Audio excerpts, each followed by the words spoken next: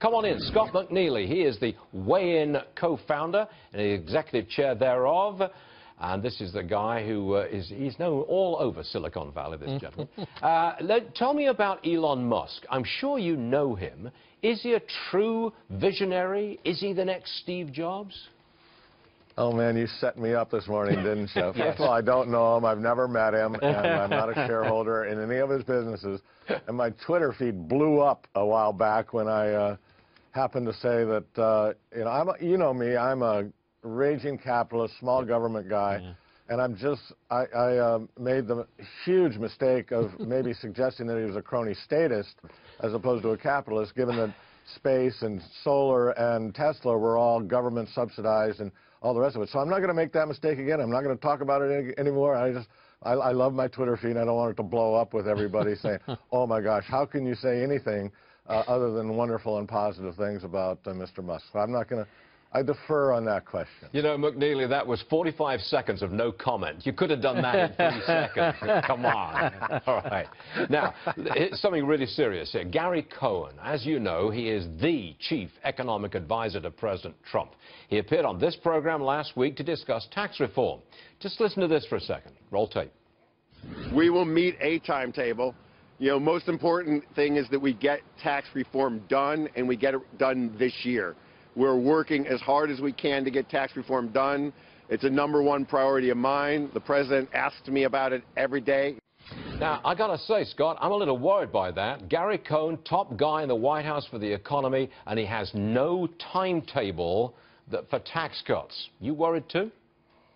Uh, yeah, and, and there are so many incentives to not fix tax cuts, and it has to do with everybody trying to get elected using their little loopholes, their little issues. There's a huge uh, industry involved in uh, creating uh, tax. I mean, it's tax season.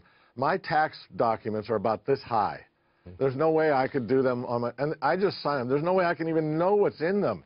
It is so complicated, and that creates a huge industry for people. So people who want to get elected, people who want to, you know, buy votes, all the rest of it, eh, they're all fighting against something that's simple and, and easy to do. So I, I, am certainly not holding my breath for it. But you want the corporate tax cut first and foremost. Above all else, cut corporate tax rates. That, that's your thing. I want people to get back to work, and I don't, I don't want them going back to work in the government. I want them to go back to work in the private sector, and uh, lowering tax rates will increase jobs. It's obvious, it's blatant, it's logical, uh, and... Uh, well, I'm hearing a lot about that. That could be the first thing. Um, instead of going for a huge, great big tax bill where all kinds of things are changed, just go for that one area, corporate tax rates, lower them, and bring that money back from overseas. That would be the easy way out, wouldn't it? That would be a nice first start, and uh, repatriation would be huge. Uh, lowering the cost of capital for investment is, is, is huge, and having that investment done here in the U.S.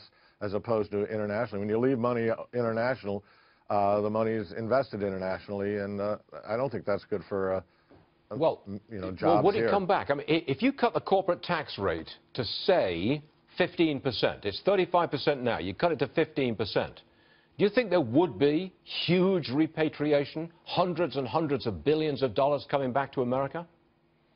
I'm not sure. I think the lower you bring it, the more that'll come back. I remember, you know, when I was running Sun Microsystems, we were lobbying for this, and we wanted to invest here, but uh, it was it was hard with cash that had already been taxed internationally to bring it back here and get it taxed again. It didn't make sense.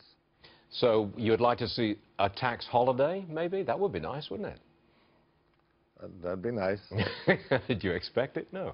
All right, Scott McNealy, thanks for joining us this morning. And I'm sorry about the Elon Musk question. I'll never ask you again. I don't want to upset your Twitter feed, okay? I understand these things. All right, Thank Scott, you. thanks a lot. So appreciate it.